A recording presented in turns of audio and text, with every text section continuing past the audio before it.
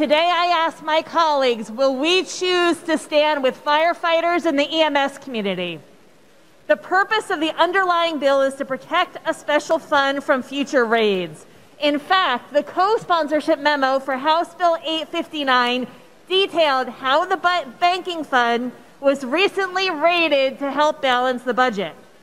I agree with the prime sponsor of this bill that we should be concerned about the constant raid of special funds to balance the budget.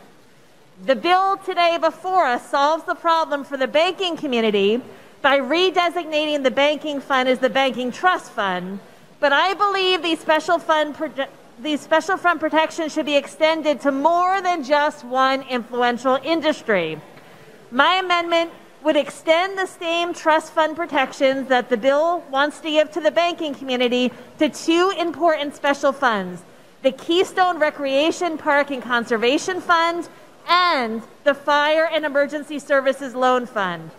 Mr. Speaker, the first fund, the Keystone Recreation Park and Conservation Fund, supports grants for local recreation and parks, land trusts to preserve open space and wildlife habitat, state parks and forest facility rehabilitation, our libraries, our historical sites, the facilities of our 14 state systems of higher education universities, and if you believe that parks, trails, green space, our Commonwealth's historical sites and libraries are just as important as the bankers, then I ask you to vote yes today. The second fund that I seek to protect today is the Fire and EMS Loan Fund, which supports the loans to our volunteer firefighters, ambulance, and rescue squads that they so desperately rely on, vehicles and facilities for our volunteer first responders, safety and protective gear and communications equipment to keep them safe.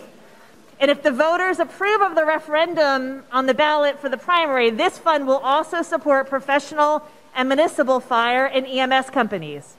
Mr. Speaker, so many of us supported the SR6 Commission, which studied how we can help our volunteer fire and EMS companies that are critical to so many of our communities. Recommendation number 10 of that report noted that we must protect the funding for the loan fund and that past raids made it likely that the fund balance will not be sufficient to meet demand for loans.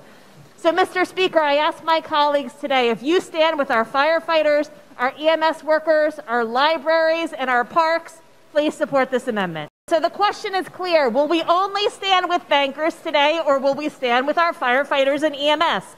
This amendment has the support of the Firemen's Association of Pennsylvania, Fire, Pennsylvania Fire and Emergency Services Institute, the Fire Planning Associates, and We Conserve PA, which is formerly the Pennsylvania Land Trust Association.